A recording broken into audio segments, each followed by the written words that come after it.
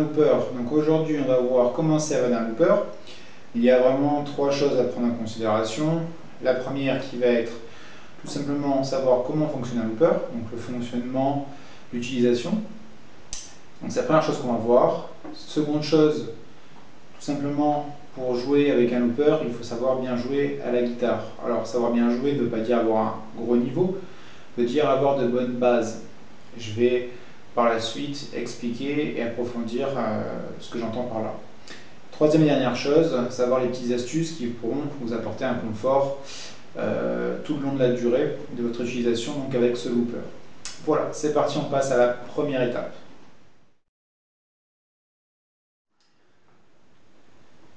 Donc en introduction, déjà, qu'est-ce qu'un looper Pour ceux qui ne savent pas, un looper est tout simplement une pédale. Une pédale, donc, comme son nom l'indique, looper, qui veut dire en fait loop. To loop, en anglais, veut dire en français une boucle. Le but et le principe donc, du looper, c'est de créer des boucles auxquelles vous allez venir empiler d'autres boucles qui vont créer à vous seul donc une orchestration. Alors ça peut être euh, une utilisation parmi tant d'autres. C'est-à-dire que le looper va pouvoir vous servir à plein plein de choses. Une orchestration à vous toute seule, il y a plein de démonstrations sur YouTube, vous pouvez voir des choses qui sont vraiment très très bien faites et qui sont magnifiques. Il existe également euh, des concours de loopers avec des prix à gagner euh, sur les personnes qui font les meilleures boucles, les meilleures orchestrations en fait. Alors il y a vraiment plein de choses, ça peut être très très créatif, ça peut être euh, plusieurs instruments, ça peut être du beatbox, des effets, des claquements de doigts, n'importe quoi, si vous avez plusieurs micros pourrait vraiment arriver à quelque chose de, très riche et très, très varié. Ça peut vous servir tout simplement à travailler votre rythme, c'est-à-dire la régularité. Ça peut vous servir pour l'improvisation, puisque quand vous jouez en improvisation, vous êtes seul. Donc soit vous jouez sur des playbacks, vous avez déjà enregistré, préenregistré ou vous avez euh, téléchargé.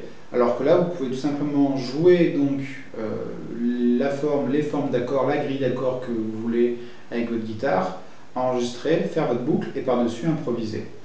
Moi, perso, ça me sert à tout ce qu'on vient de mentionner, mais également ça me sert en tant que professeur. Euh, quand j'enseigne, je dois montrer des exemples. Eh bien, j'ai besoin des fois de me diviser en deux. Donc, euh, le looper me permet d'obtenir ça. Euh, quand je dois montrer un exemple sur une gamme, quand je dois montrer une improvisation, quand je dois faire improviser, pardon, quand je dois faire improviser donc des élèves. voilà, ça me sert vraiment à plein de choses. Et le looper est vraiment quelque chose de très très riche. Le looper va vraiment vous faire évoluer en tant que guitariste.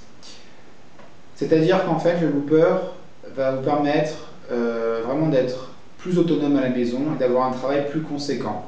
Pour la seule raison que quand vous jouez tous les jours, c'est très dur d'avoir une auto-critique de vous-même. C'est-à-dire que quand vous jouez, pour la plupart d'entre vous, en tant que débutant et même intermédiaire, vous n'êtes pas encore apte à écouter ce que vous jouez. Alors, ce que j'entends par là, c'est-à-dire qu'il y a une différence entre entendre ce que vous jouez et écouter ce que vous jouez. Quand vous jouez quelque chose, vous entendez le son que vous imitez. Mais vraiment, vous prêtez pas encore vraiment attention, vous n'êtes pas à l'écoute de ce que vous faites. Pourquoi? C'est normal, parce que vous êtes tout simplement concentré sur la technique que vous employez, sur les accords, sur à ne pas vous tromper, à bien réfléchir au morceau que vous faites, euh, à essayer donc euh, de vous concentrer le maximum possible pour arriver à avoir un ressorti qui est, qui est comme vous le souhaitez. Donc du coup, vous êtes tellement concentré que vous n'écoutez pas réellement ce que vous faites. Alors quelqu'un qui va être en face de vous, qui va écouter, c'est lui qui va vous dire "Et là tu euh, joues trop vite, là tu n'es pas régulier, là il y a des choses qui ne vont pas. Voilà. Euh, on va dire une vision extérieure, donc des gens qui vous écoutent, eux on pourra avoir un jugement extérieur qui sera fondé donc constructif. Alors que vous, ça va être dur en tant que débutant.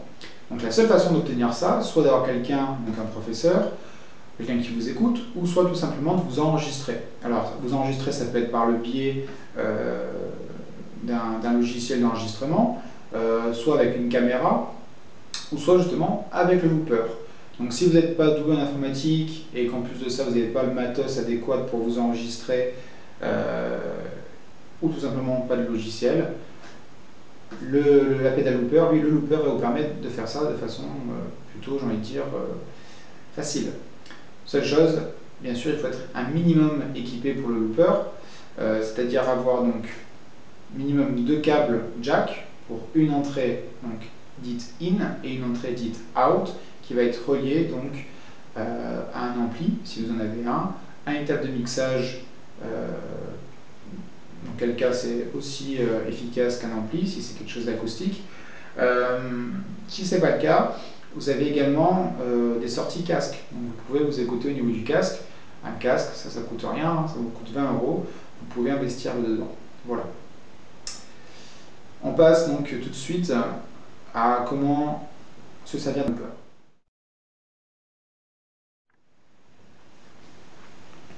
Alors voici donc mon looper. mon looper à moi fait partie de la marque Digitech qui a sorti donc une gamme de loopers qui s'appelle les loopers Jaman. Il y en a plusieurs. Celui-ci est relativement, on va dire, simple. Euh, il est moins simple que les basiques, mais il est plus simple que certains gros pédaliers compliqués. Il faut savoir que n'importe quel euh, looper, que ce soit du plus basique ou plus compliqué, aura toujours les mêmes fonctions de base. Donc, qui sont 1. Comment enregistrer 2. Comment arrêter l'enregistrement et 3. Comment enregistrer par-dessus, donc former des boucles. Donc, c'est pas compliqué. Vous voyez que c'est une pédale et que cette pédale-là, comme toute autre pédale, il faut simplement appuyer sur la pédale. Donc pour ce faire, en venant appuyer donc sur la pédale, ici va venir s'allumer donc un voyant rouge. Donc la LED que vous avez ici est rouge. Quant à la fiche rouge, tout simplement, elle veut dire qu'en fait vous enregistrez. Donc là, il n'y a rien qui a été enregistré, tout simplement parce que je n'ai pas joué. Donc admettons que je joue, je vais venir enregistrer et jouer. De là, je vais venir appuyer simplement une fois et ça va jouer. Voilà, ça joue ce que j'ai enregistré en boucle.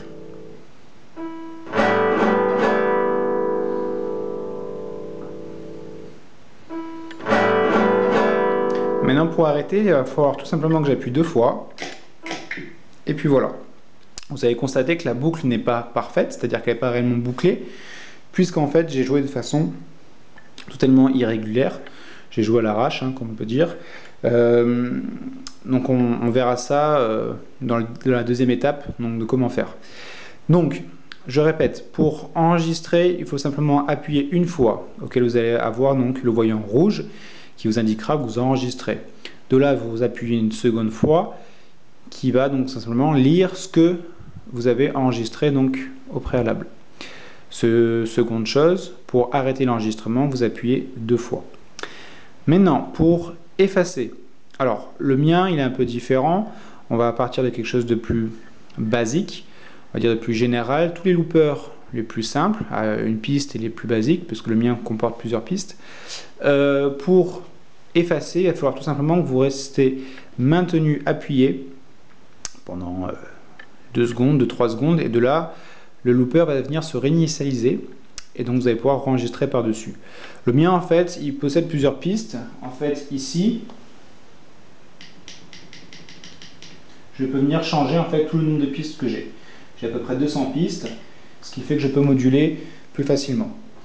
Voilà, c'est vraiment les, caractéristiques et les bases à savoir pour servir en tout cas d'un looper, enregistrer, arrêter l'enregistrement et l'effacer. Maintenant pour créer vos boucles, c'est-à-dire pour continuer à empiler des enregistrements les uns après les autres, créer des nappages. Donc à savoir que quand vous appuyez pour enregistrer, le voyant s'illumine de la couleur rouge. Quand vous appuyez pour lire ce que vous avez enregistré, le voyant, lui, va s'allumer de la couleur verte. Et quand vous allez enregistrer, donc par-dessus créer des boucles, tout simplement la couleur intermédiaire va être le orange. Et oui, c'est un peu comme des feux de signalisation. Euh, quand vous arrêtez un feu rouge, vous passez au vert et entre vous avez le orange. Et eh bien là, c'est exactement pareil. Donc je vous fais une démonstration. Donc je vais venir ici enregistrer quelque chose de basique, hein, je ne sais pas, sur trois accords, par exemple des arpèges.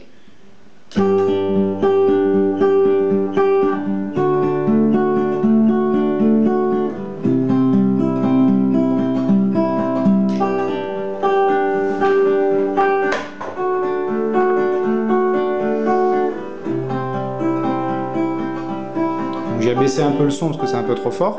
Donc là, j'ai enregistré ma boucle. Ça joue donc de la façon répétée en boucle.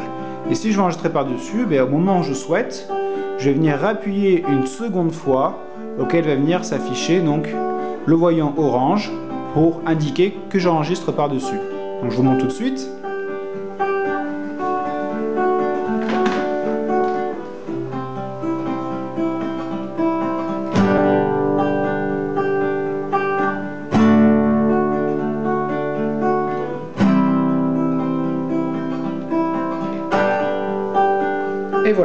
Deuxième boucle.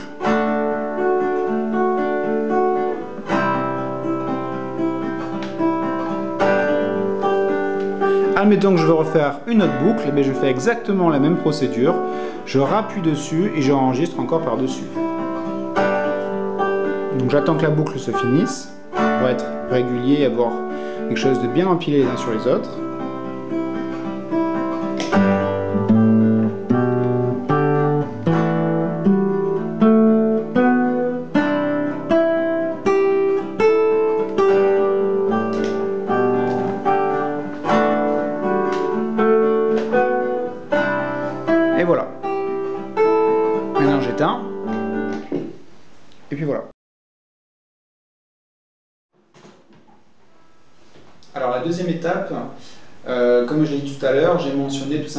Savoir bien jouer. Alors ce que j'appelle donc savoir bien jouer, euh, ben, c'est quelque chose de basique mais à la fois très très, euh, très très nécessaire en fait pour arriver à bien servir du looper. Puisque le looper va tout simplement refléter euh, rejouer exactement tout ce que vous avez joué sur la boucle.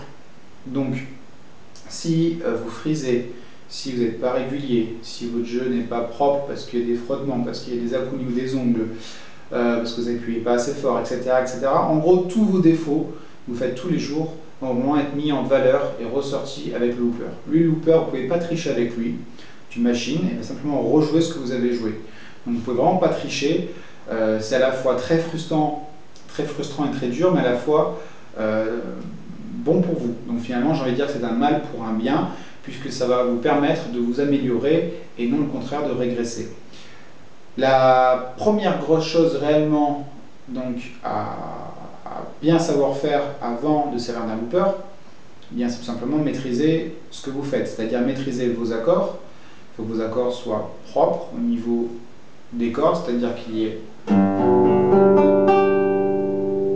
pas de parasites, pas de cordes qui soient étouffées, pas euh, de cordes qui frisent. Tous vos accords soient relativement propres, surtout si vous jouez des arpèges. Euh, il faut que vos accords au niveau de l'enchaînement soient quasiment parfaits. Parce que si vous y mettez des trous, ça va venir sur la deuxième chose sur laquelle j'insiste fortement, qui est encore plus importante que la première, c'est savoir jouer régulier. Si vous n'êtes pas régulier, votre boucle, elle ne sera pas régulière. Et donc du coup, euh, vous n'arriverez pas à enregistrer une deuxième boucle par-dessus, puis une troisième, etc. Si vous, voulez en faire plusieurs, tout va être décalé. Et ça va être un gros bordel. Donc c'est super important au préalable de maîtriser ça. Si vous, jugez par vous-même que vous maîtrisez ça, qu'il n'y a pas de problème, vous jouez, je sais pas, avec trois accords, tranquille.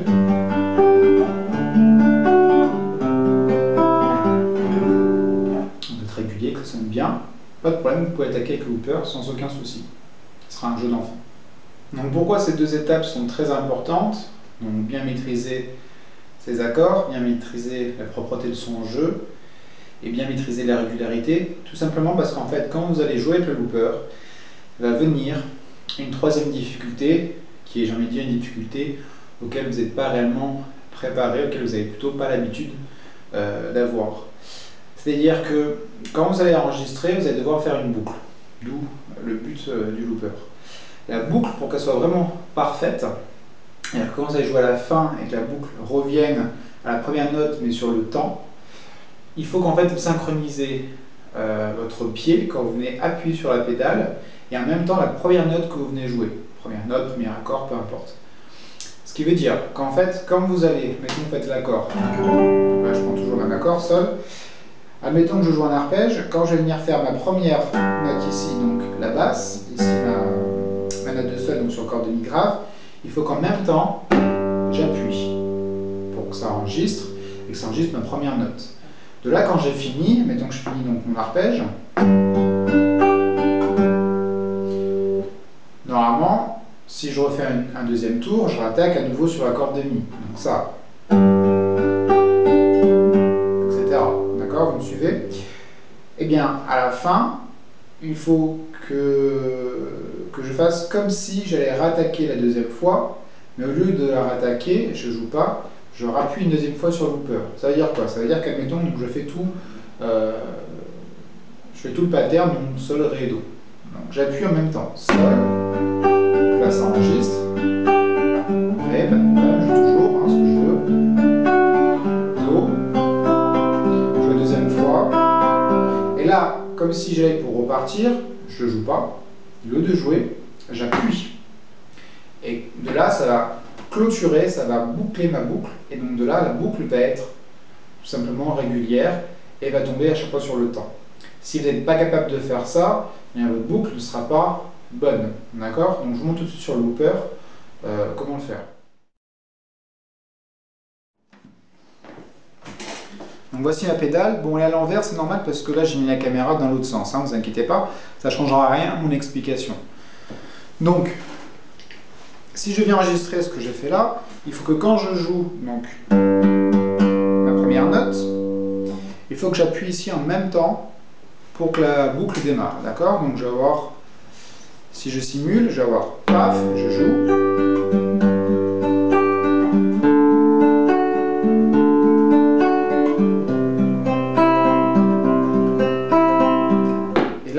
rappuie une seconde fois pour que la boucle se mette en, route. Par contre, moi, je m'arrête de jouer, c'est pas nécessaire, puisque de toute manière, euh, ça va tourner en boucle. Après, vous pouvez continuer à jouer si vous le souhaitez, de toute manière, ça n'enregistrera pas. Si ça peut juste vous aider à avoir quelque chose de régulier, pourquoi pas? Donc, je vous montre en situation réelle.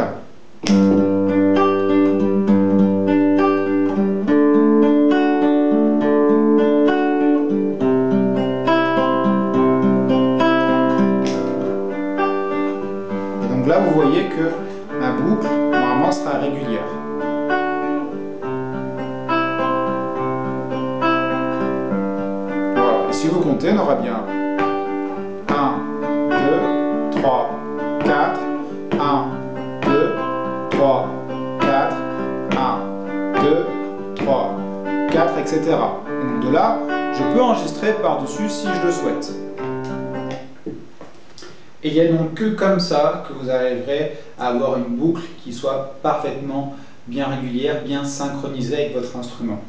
Quel qu'il soit, que ce soit la guitare ou un autre instrument, il faut que quand vous avez fini la boucle, la boucle que vous souhaitez faire, pardon, euh, vous puissiez toujours repartir sur le temps afin qu'une boucle soit vraiment bien complète et bien régulière pour pouvoir enregistrer par-dessus, donc créer tous les nappages que vous souhaitez faire, toutes les boucles empilées les unes sur les autres. Sinon, quand vous allez tout empiler, avoir quelque chose qui va être vraiment très brouillon puisque tout sera décalé les uns par rapport aux autres.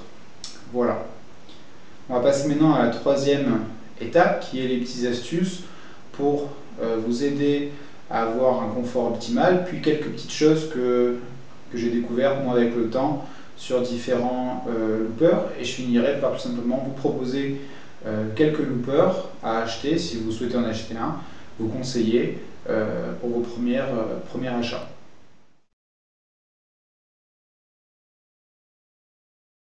Alors celui-ci donc euh, c'est une pédale en fait, un, looper que j'ai acheté, donc qui est, je vous ai dit, euh, parmi la famille donc euh, Jaman, donc de la société Digitech.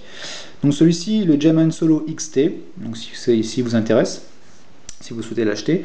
alors moi à l'époque je l'avais acheté dans les à peu près 180 euros, après je sais que ça a descendu de 150 et je crois que maintenant si je dis pas de bêtises il doit être aux alentours des 120 euros. Donc ça a bien baissé puisqu'à l'époque euh, ce genre de looper là, qui était euh, en relation, en concurrence avec euh, pas Digitech mais Boss, qui avait le même en rouge, quasiment les mêmes fonctions. Étaient tous les deux aux alentours de 200 euros il y a de ça un petit moment il y a quelques années. Mais bref, donc le petit plus sur les loopers qui sont comme celui-ci, donc un petit peu plus, j'ai envie de dire, euh, modernisé, euh, plus compliqué que les, euh, les, basiques. Bien, ce qui va être pas mal avec celui-ci, c'est qu'en fait, euh, je vais avoir donc euh, plusieurs pistes. Comme je vous l'ai dit tout à l'heure, là, je peux vraiment changer le nombre de pistes que je veux. Et je peux switcher en fait sur plusieurs pistes quand je veux. Donc ça, ça peut être pas mal. Deuxième chose, j'ai pas une entrée, mais plusieurs entrées en fait ici. Donc entre autres deux, deux ici euh, entrées et donc deux ici sorties. Ici, je vais avoir le foot switch. On va voir après qu'est-ce que c'est. C'est quelque chose de très pratique. Euh, ici, je vais avoir donc soit une entrée USB pour relier directement à l'ordinateur si je veux enregistrer quelque chose ou directement ici donc une carte SD donc entre autres micro SD euh, qui va me permettre d'inclure de la musique dedans si je souhaite mettre par exemple des playbacks des backing tracks que j'ai fait moi-même ou que tout simplement euh, j'ai acheté ou enregistré euh, par le biais d'un artiste si je souhaite jouer une cover ou une reprise Ensuite, donc là, j'ai le réglage de volume. Alors là, c'est tout le menu, mais bon, de manière, ça sert à rien que je vous explique tout ça, on s'en fout. Pour le moment, euh, c'est trop compliqué pour vous. Après, ce qui est bien ici, c'est que je peux avoir des différents rythmes de batterie, en fait. Alors, je sais pas si je vais les avoir là.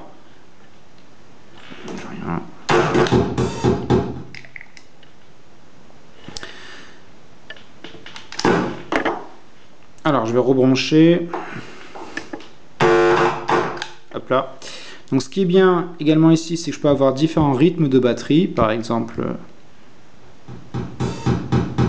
exemple, hein. voilà, le nombre de pistes, pour vous montrer un petit peu les différents rythmes de batterie qu'il y a euh, directement dedans, donc ils sont intégrés.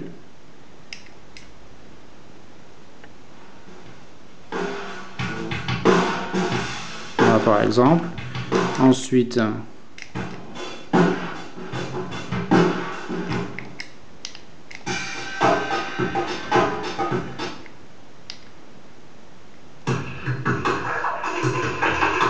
il y a des trucs euh, un peu plus modernes, hein. ça peut être pas mal pour les, les futurs euh, créateurs.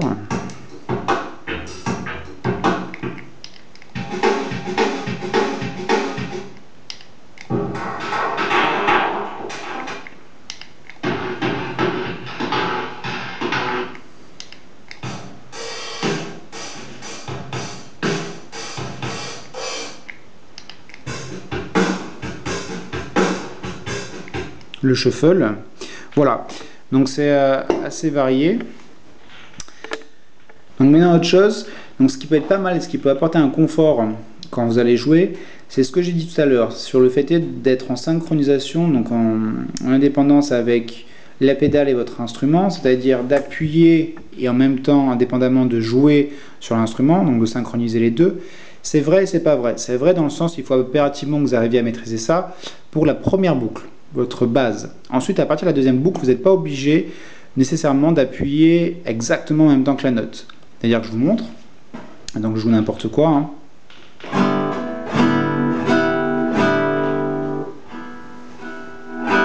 Voilà.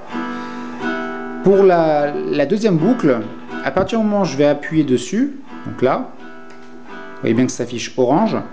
Si je ne joue pas, ça va continuer à enregistrer donc la deuxième boucle, mais ça va enregistrer quoi? Ça va enregistrer du vide. Ça va rien enregistrer puisque je n'avais pas de son.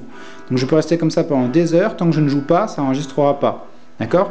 Ce qui fait que vous pouvez être prêt, simplement appuyer d'avance, je sais pas moi, euh, un, deux, trois temps avant votre prochaine boucle. Vous appuyez déjà, comme ça vous, vous avez la tête qui est libérée, et vous vous concentrez tout simplement sur votre instrument. Donc là j'enregistre.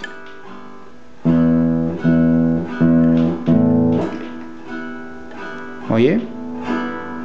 Ça a enregistré ma deuxième boucle. Et je peux faire ça pour n'importe quelle euh, autre boucle. Donc je vous montre maintenant sur quelque chose d'un peu plus euh, concret. Donc là je vous montre, donc je vais synchroniser ma première boucle pour qu'elle soit régulière. Donc je garde les mêmes accords, sol, ré, do. Donc là j'appuie en même temps que je joue ma première croche.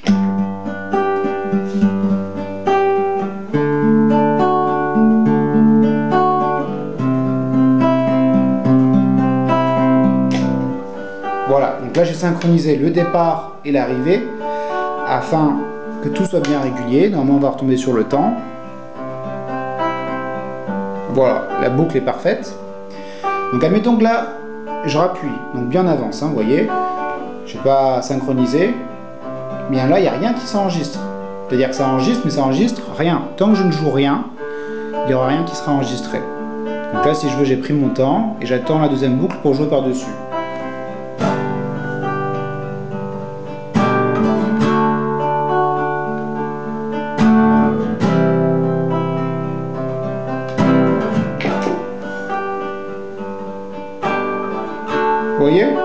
Nickel.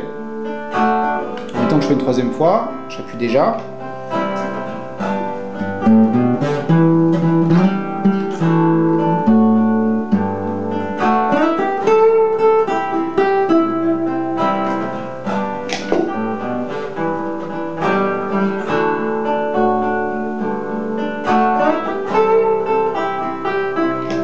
Et voilà. Bon, l'enregistrement, je fais rien de fameux, hein, on s'en fiche. Je cherche vraiment pas à faire quelque chose d'extraordinaire, c'est juste pour montrer le principe en soi. Voilà.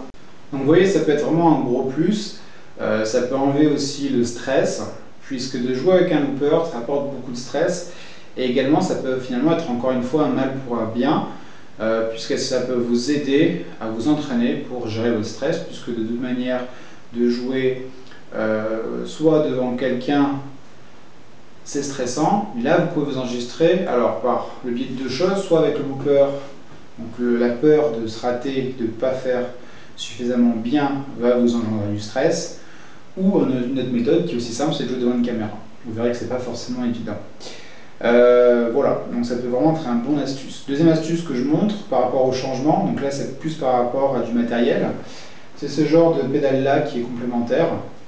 Donc là qui va vraiment avec euh, la mienne, donc le Digitech euh, euh, là, ça s'appelle le FS3X, donc Foot Switch, que j'ai parlé tout à l'heure, qui va être une pédale qui va me permettre de switcher directement entre toutes mes channels, donc toutes mes chaînes, et directement accéder aussi à mes modes, euh, sans avoir à baisser à chaque fois avec le doigt et appuyer, ce qui est vraiment très contraignant par exemple sur scène.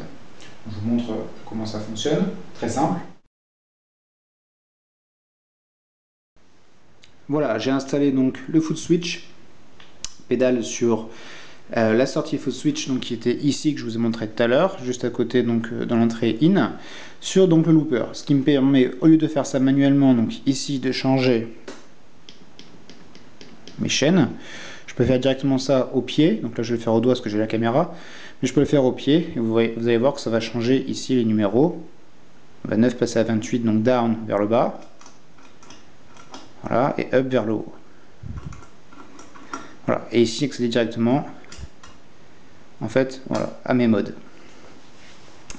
Voilà pour le foot switch. Euh, ça coûte dans les alentours, je crois, de 20 euros. Donc maintenant, si vous souhaitez vous entraîner sur euh, un, morceau, un petit morceau, j'ai envie de dire un riff euh, qui va vous procurer plusieurs boucles, vous avez un exemple de ce que ça peut donner. Donc ce que j'ai joué rapidement à l'intro donc qui est une vidéo qui s'appelle Loop harmonique, vous avez en bas dans la description. Euh, vous avez donc la vidéo, vous avez également donc la tablature, vous pouvez la télécharger directement sur mon site et vous pouvez donc vous entraîner à jouer euh, ce morceau-là que j'ai créé exprès pour donc, euh, mes élèves à l'école de musique pour s'entraîner justement sur le looper. Donc en termes de pattern, vous allez avoir une première boucle avec des arpèges donc, qui sont des accords relativement très simples, j'ai fait exprès, que ce soit pas trop compliqué, donc mi mineur, do sol ré, vraiment très très basique. Euh, donc des arpèges en ternaire. Ensuite vous allez avoir donc, des rondes très simples, donc sur les mêmes accords, et ensuite vous allez avoir un solo d'harmonique, ça qui est un peu plus, j'ai envie de dire un peu plus dur, mais à la fois qui est euh, relativement original, puisqu'un solo d'harmonique n'est pas beaucoup. Donc voilà, ça vous donne une petite, euh, petite idée de ce qu'on peut faire, et surtout donc ça vous aide pour euh, commencer à travailler ça. Euh, si vraiment vous trouvez que c'est trop dur, il y a quelque chose qui est encore un petit peu moins, moins dur, qui est aussi bien, c'est les deux riff loopers que j'avais fait également sur une vidéo, que je mettrai toujours pareil en bas dans le lien, sur euh, Billie Jean et sur Smoke and Water. Donc là, c'est vraiment quelques petits patterns très courts qui vous permettent de travailler donc justement le looper. Voilà. Concernant donc pour finir cette vidéo euh, sur le looper, donc les loopers que vous pouvez vous procurer soit en magasin, soit sur internet.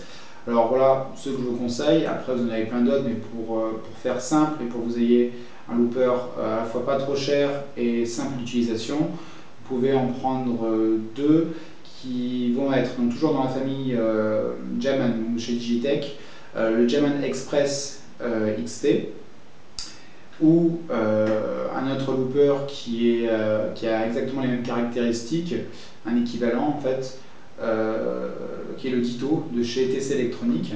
Donc les deux ont quasiment les mêmes, euh, euh, fonctions, les mêmes caractéristiques, euh, si ce n'est que je crois que le Jaman a une batterie dedans intégrée. Mais de toute manière, j'ai toujours une petite préférence pour, pour le Jaman parce que c'est ce que j'utilise. les deux coûtent dans les alentours de 85-90 euros max. Voilà, en tout cas sur internet, après magasin, je ne sais pas. Sinon, si vous souhaitez donc un looper un peu plus performant, comme celui que je vous ai montré, euh, c'est-à-dire vous allez taper un peu plus haut dans les 120, 150 euros. vous avez donc celui que je vous ai montré toujours chez Jaman de chez Digitech, donc euh, le looper donc Jaman Solo XT, ou son équivalent chez Boss qui va être le RC3 qui sera aux alentours de 150 euros. Je crois que le Jaman est un petit peu moins cher. Voilà, comme d'habitude, si vous avez des questions, n'hésitez pas sur ma chaîne YouTube en bas, sur les commentaires. Euh, sinon, toujours, je suis disponible soit sur mon site internet, soit sur YouTube. N'hésitez pas à poser des questions, ou sur Twitter directement, je répondrai également. Cliquez sur j'aime si vous avez aimé la vidéo, et je vous dis à bientôt pour d'autres vidéos. Entraînez-vous bien et prenez du plaisir. A bientôt. Ciao